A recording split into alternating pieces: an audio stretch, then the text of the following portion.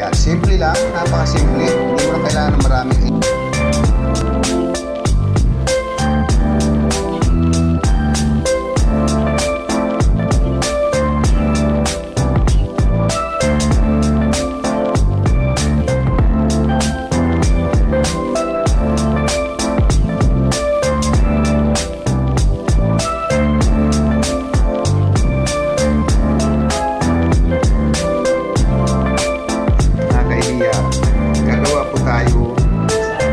salad. Ito po ang pipino at litos. Yan gagawin natin salad. Dagdagan pa natin yan ng kamatis. Ayan. Para marami-rami. Ayan. Okay. Mamaya. Siyempre, pag may salad, mayroong sausawan. At ang sausawan na gagawin natin ay mayonnaise at sweet and sour na ketchup.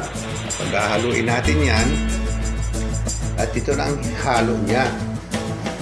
Pag nalo siya na ganyan, lalagyan natin ng kaunting asin. Ayan, iodized ang halo natin. Cut. Gagawin natin ay ito. Hahalo na natin. Ah, Casey. yan. Agenda siya. Pag nahalo na yan, eh, masyado siyang malapot. Kaya ang gagawin natin, ay hahaluan natin ng kaunting tubig. Okay? Lagyan natin ng kaunting tubig. Yan. Para malabnaw. At saka yung natitira, dito sa lalagyan, lagyan natin tubig. Yan. Kalagay ng tubig, kalagyan pa na natin. Kasi sayang. Ayan.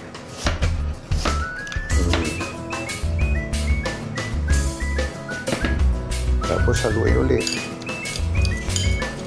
Ayan, pwede na yan.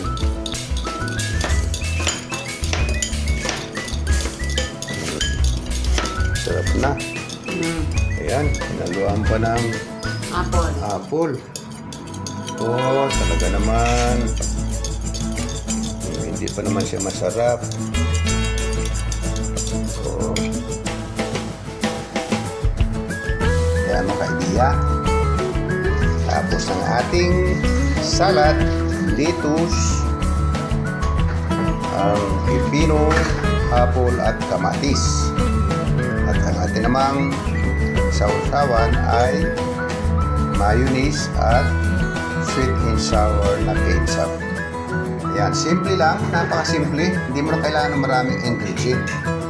Kaya pwede nyo pong gayahin to para sa bahay nyo. Ayos na ang pagkain ng gulay salad. Ayan.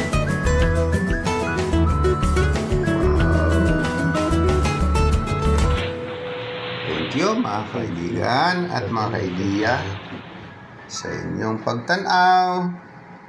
Thank you for watching.